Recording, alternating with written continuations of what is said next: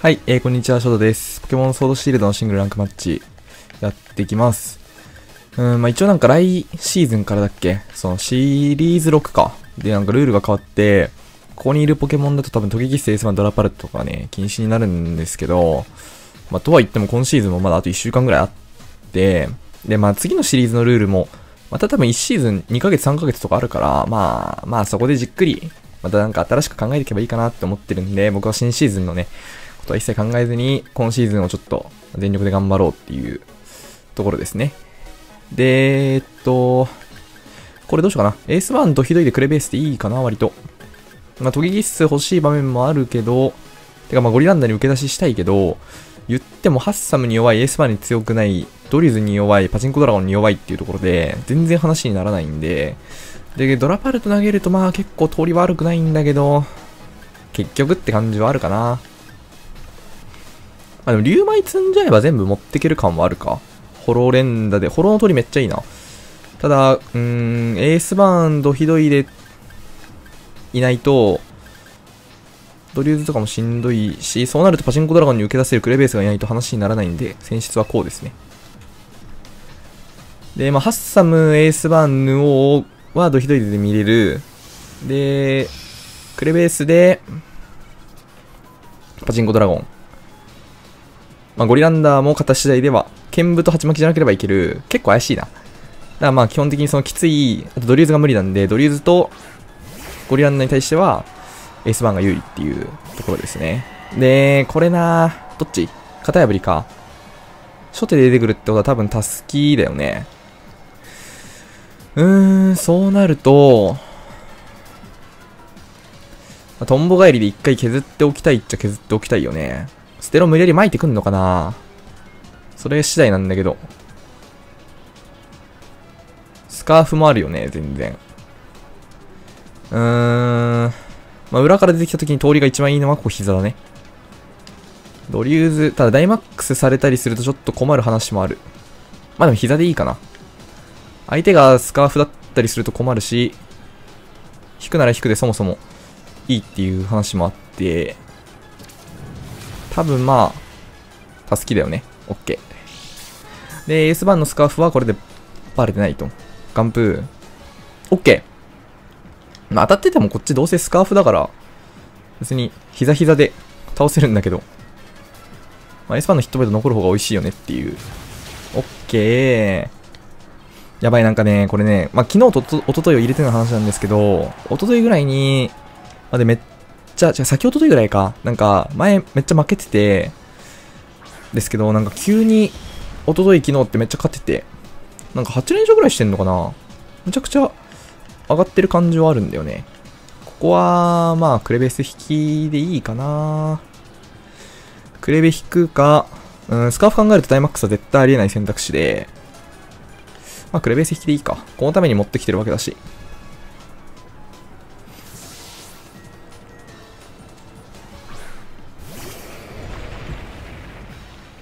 電口。痛えけどこれ弾じゃないね。うん、大バーンあったらここ切ってくるとこなんだけど、どうしようかな。しんどいよな、普通に。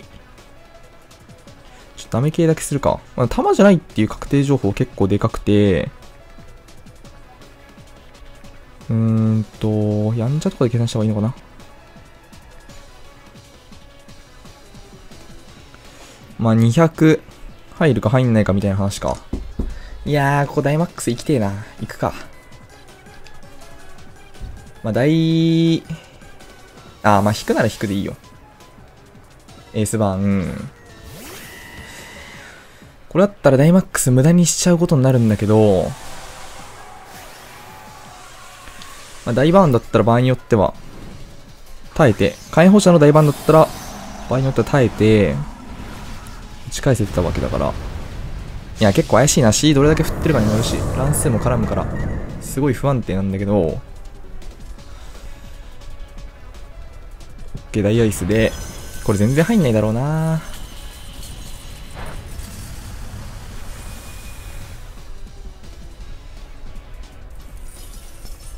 まあね、なんか新シーズンのことを考えてる考えてるかな、楽しみだな、みたいな声は結構あったりして、で、まあ僕も割と新シーズンのルール自体は、まあ今までにないバトルになるから、どんなポケモンがすごい強いのかなとか思ったりして、まあ別にそんな嫌だなって感じじゃないかなって感じなんですけど、まあ一つ言えるのは 今まで弱かったポケモンが新シーズンでトゲキスとかドラパルトとかミミック消えて強くなることは多分ないかな。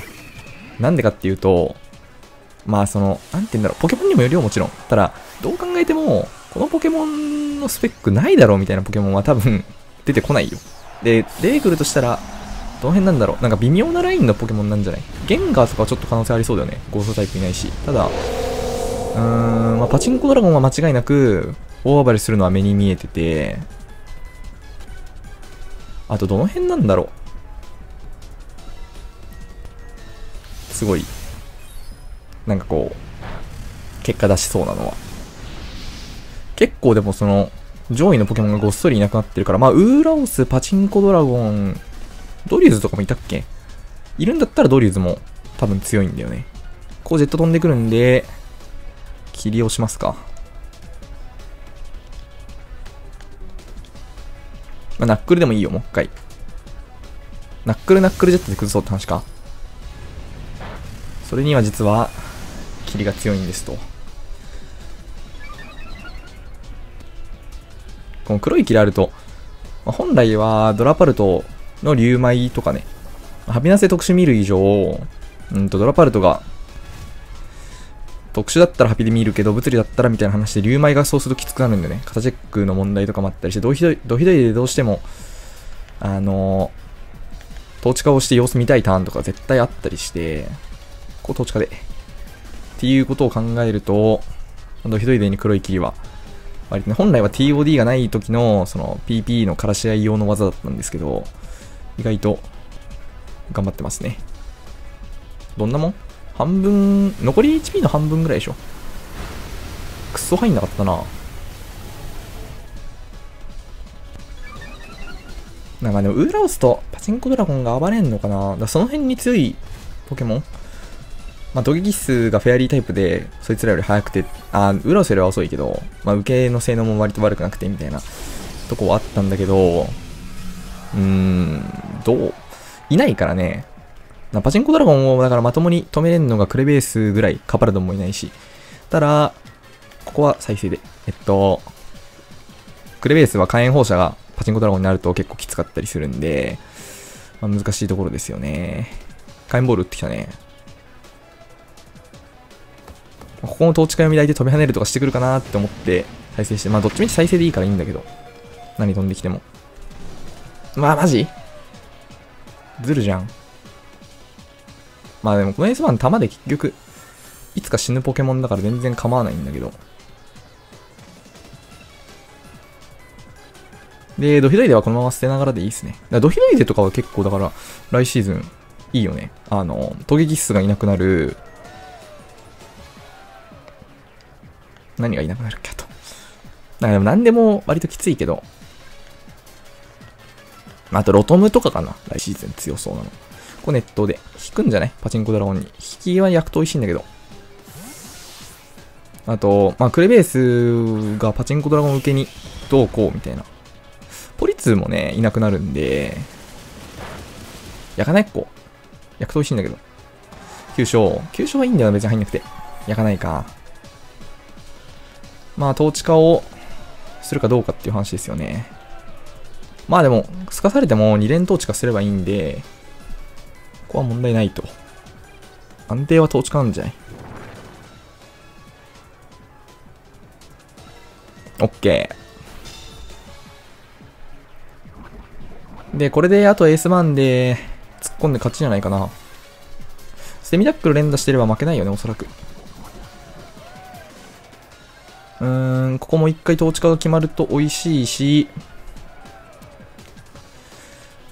そもそも電気くちばしが外れる場合もあって、相手は56%かなここで攻撃的当てれるのは。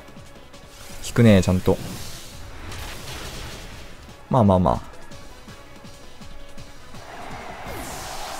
うーん、これ、急所当たる可能性とかを考えると、エースバンを2回使う方が強いよね。クレベースから入るより。で、相手のパチンコドラゴンのスカーフもエースバーンスカーフなんで、怖くないと。お帰りで1回削って、毒ダメ入って、次の捨て身で、いいんじゃないかな。あー、クソ入るね。で、これで、クレベース。なんならここ耐えるから、かわしもある。当たる。全部当てんない相手。お、危ねえ。これ、火力にちょっと甘いパチンコドラゴンだな。半分大体超えてくるっていうのが一般的なんだけど。で、ここはボディプレで。まあ、これはさすがにもらった。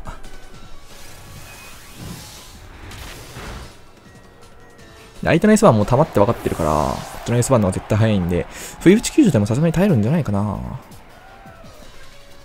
あ、それは言ってもしゃあない感はあるけど。この S1 のね、まあ、飛び膝が95%なのはよしとして、そのあれだよね。なんていうの？フレアドライブにしてるのも 命中不安がありえん嫌だからっていう。だからトンボ帰りとしてみタックルは技安定で結構いいよなっていうね。ところがありますね。オッケー、9種だったらこれ危なかった。強玉エース版の攻撃。おる。オッケー。なんかめちゃくちゃ噛み合ってすげえ連勝できてんな。いい感じっすね。じゃあ今日はこの一戦で終わります。おっつ。